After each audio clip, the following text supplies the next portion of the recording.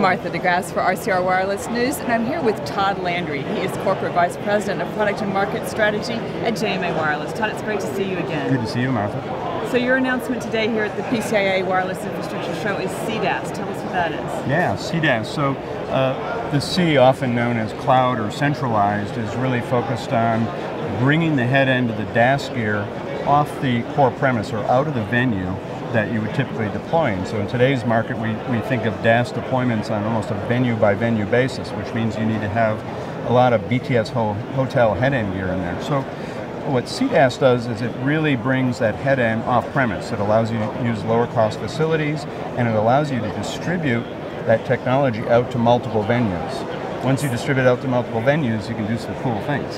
So one head end for multiple DAS in multiple venues in an area. How big of an area are we talking about? Well, typically what's happening is these are kind of metro serving areas. So let's say you have a stadium, an arena, uh, some business offices, um, all of them used at kind of different times of the day and different times right. of the week, right? Uh, so you can you can scale it up and down pretty infinitely depending on what you want to do. Okay, great. And how long do you think until this is ready to be deployed? So the CDAS architecture is available today. Uh, we've also introduced today or announced today uh, the forthcoming of our capacity management cards for the TEKO system.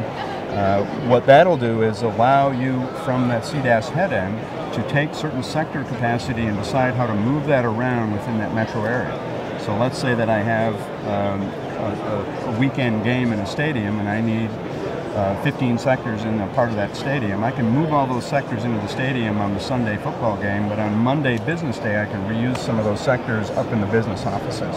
So that technology is going to be available in the market in June. In June, okay. And is this a dynamic thing, or is it an individual monitoring it and allocating? It's a scheduled thing, so it all can be configured from our web-based uh, operations and management tool. Uh, what it allows you to do is look at the configurations and orchestrate uh, the calendar within a metro area to move that capacity around.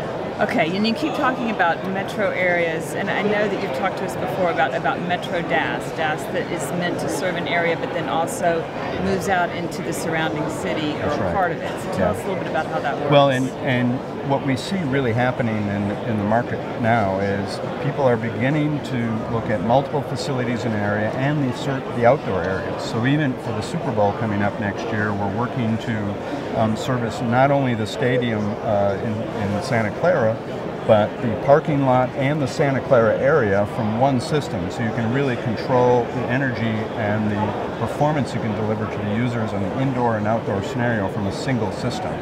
Uh, same is happening with the campus environment, right? We were with a lot of the higher education last week, and really what's happening on the campuses is they're, they're finally really looking at it not just as their stadium or their arena, they're looking at it at the campus view and how they can leverage that capacity across the campus. So it kind of becomes a, a campus DAS type solution or a metro DAS type solution.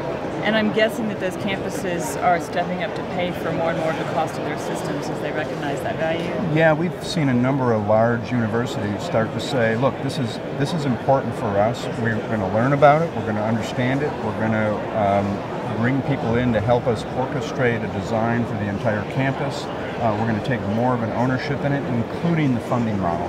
Uh, and it's been an ongoing debate for many years of who pays for that coverage within within a campus. But I think we're seeing the univer- larger universities uh, step it up and start to say, I think I'm going to fund some of this because it really matters for my university offering.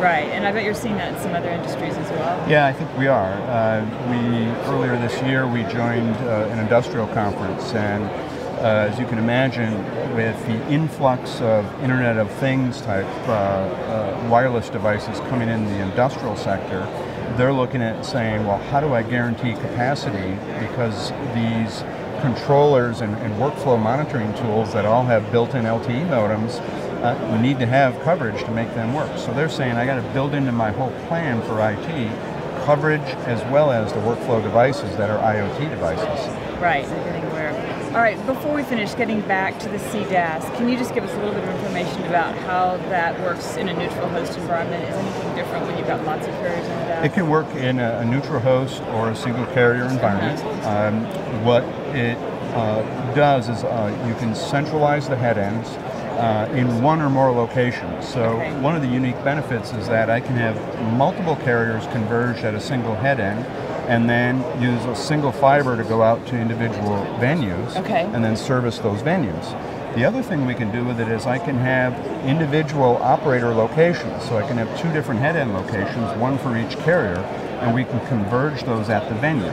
So it provides some flexibility on how you might deploy. Single carrier as a lead, and then bring in a secondary carrier, secondary carrier to the venue, or a neutral host who wants to centralize operations and then start to service venues with multiple operators in that particular metro area. Fascinating. All right, well, we'll keep an eye on it. Todd Landry, Awesome. JMA Wireless. Thank you.